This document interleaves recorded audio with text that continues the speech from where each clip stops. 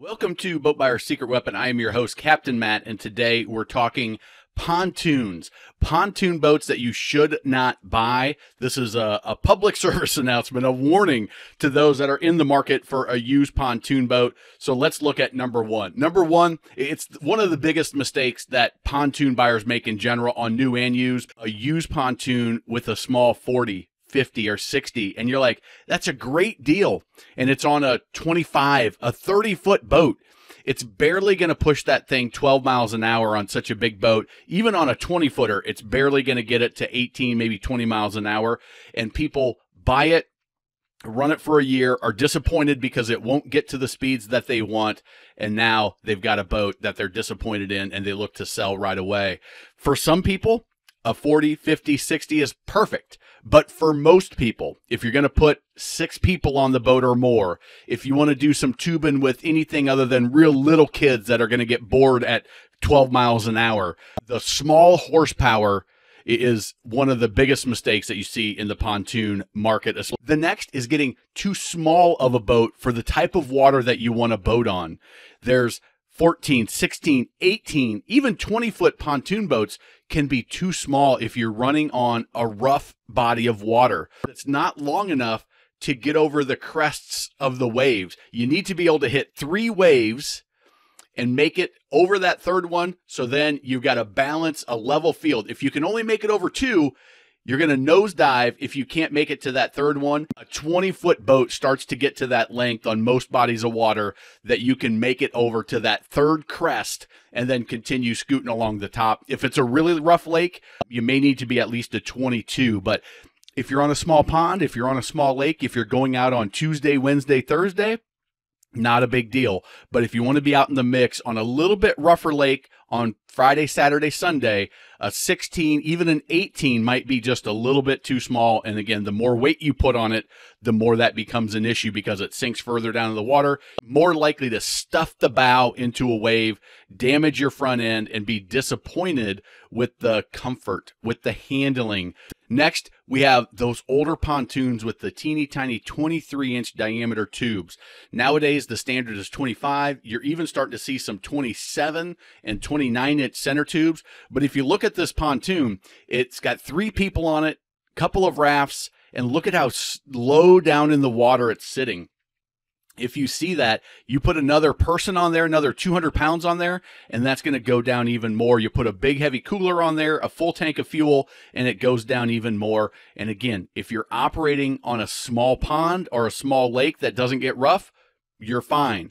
But for most people these days, if you're out on a, a reasonably sized lake, that has any traffic whatsoever on a Saturday or Sunday, and you're going to put five, six, seven people or more on it, those 23 inch tubes don't have the buoyancy to hold you up. You're going to sink down into the water. You're going to take water over the bow. You're going to stuff the bow. You're going to have a incredibly rough and slow ride. It's going to slow the pontoon down. So if you put a 50 horsepower on a short pontoon with those tiny tunes and put eight people on it, you're going to likely be very, very, very, very disappointed.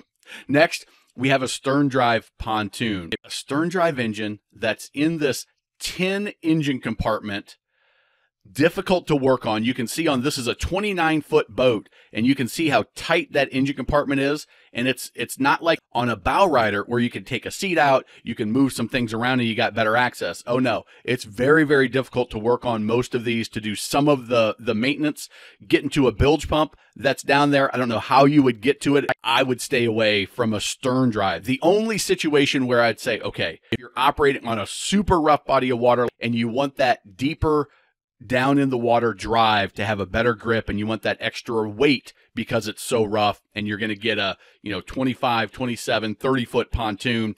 It's about the only situation where I would say I can understand it. I still think you'd be happier if you can find it a 300 horsepower or something like that.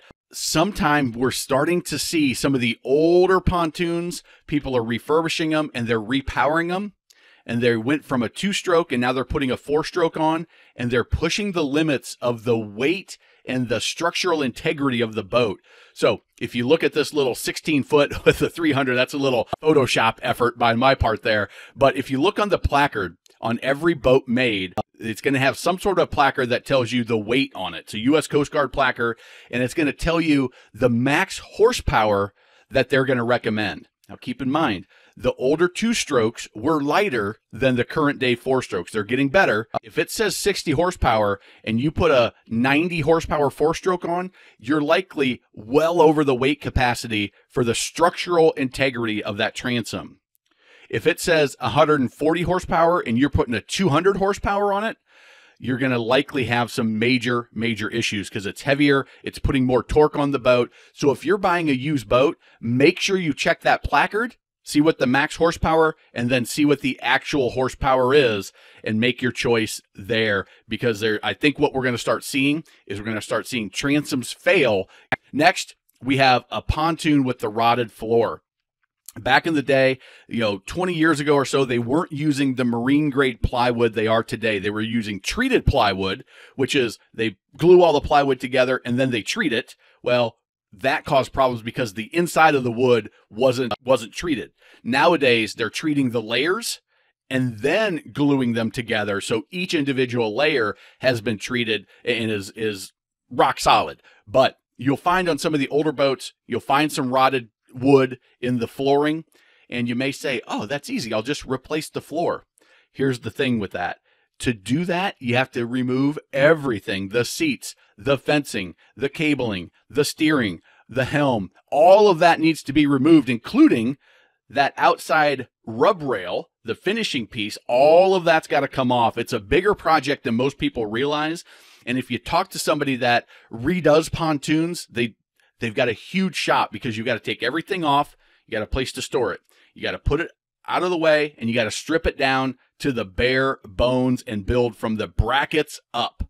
It's a lot of work, a lot harder than some people realize. If you enjoy that kind of stuff, go after it, but just know what you're getting into. Watch some refurbishing videos that you can find on YouTube. Talk to somebody that's done it because there's a lot of little mistakes that you may make if you've never done it before and I don't want you to get a situation where you you dive into it, you spend the money and now you're left with a, just a big pile of garbage that you're not willing, able or have the time to fix. The cracked transoms. If they really just beat the snot out of the boat, they've got a, a too heavy a motor on it. I have a friend of mine that had this exact situation happen. They bought a used pontoon and their crack their transom actually broke off while they were on the water. If you see wood in your transom, hey, make sure that wood is solid. Expect everything for cracks, cracks in the welds, cracks in the aluminum, and, and if it's cracked, I'm going to recommend that you really be cautious. And unless you are a, a superb aluminum welder or you know somebody that is, you probably want to walk away because it's only going to get worse. Next is a pontoon. The pontoon's perfect but it's sitting on a scissor trailer. This is a scissor trailer right here. It slides down the middle of the tubes. If you're going to be trailering at any distance, more than maybe a mile or two on just slow neighborhood, country, low traffic roads, very flat, no curves, I'm going to say avoid the scissor trailer. If you think about it, the center of gravity is it's a very tippy trailer setup if you're not very good at towing, if you don't know exactly how to tie this boat down and you've got to strap down all four corners of the boat to the center, every dealer that I know that uses a scissor trailer in the yard at one point or another, some a yard guy has dropped a boat, tilted the boat off the trailer, and now you got a disaster on your hands, probably ruining the tunes. Um, so if you're buying a used boat that has a scissor trailer on it, figure into the equation if you're going to be trailering it any distance figure into the equation that you're going to have to buy a new trailer. You're not going to be happy. It's not going to be super safe uh, if you're traveling at any speeds, any curves, uh, any distance. Same thing with the pontoon trailers that have the teeny tiny wheels on it.